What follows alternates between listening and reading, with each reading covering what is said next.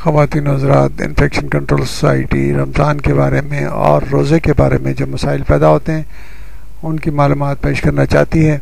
कुछ अफराद में मसल क्रैम्प्स पैदा होते हैं, यानी कि जो उजलात हैं, मसल्स हैं, उनमें दर्द, शदीद दर्द और खिंचाव पैदा होता है।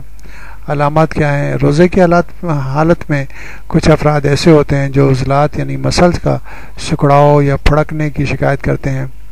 इन अफराद को वक्फे वक्फे से या पूरे दिन में एक, दो बार उजलात के सिकुड़ाव और फड़कने या ऐठने की शिकायत होती है। वजह वजह क्या है?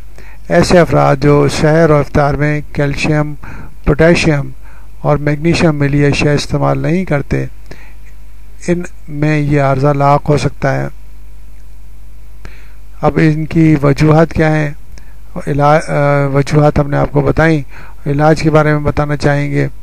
इस अर्जे से बचाव के लिए ऐसी गज़ाएँ इस्तेमाल करना ज़रूरी हैं, जिनमें कैल्शियम, पोटाशियम, मैग्नीशियम, वाफर मकदार में पाए जाएँ, जो कि सब्ज़ी, सब्जियों में, फलों में, गोश्त, खजूर और दूध से बनी अशिया में इन अनासर, इन गज़ाई अनासर के हजूल के बेहतरीन माखज़ हैं और इनको इस्तेमाल करके इन मसाइल से बचा जा सकता है।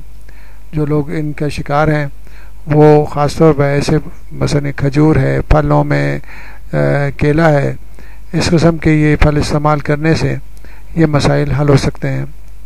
ऐसे अफराद जो हाई ब्लड प्रेशर के लिए अदविया इस्तेमाल कर रहे हों या गुर्दे की पथरी की शिकायत से दो चार हों वो अपने मालिक से ज़रूर मशवरा करें कि इन अलामत में क्या करना चाहिए और बेहतर तरीके से गाइड कर सकते हैं।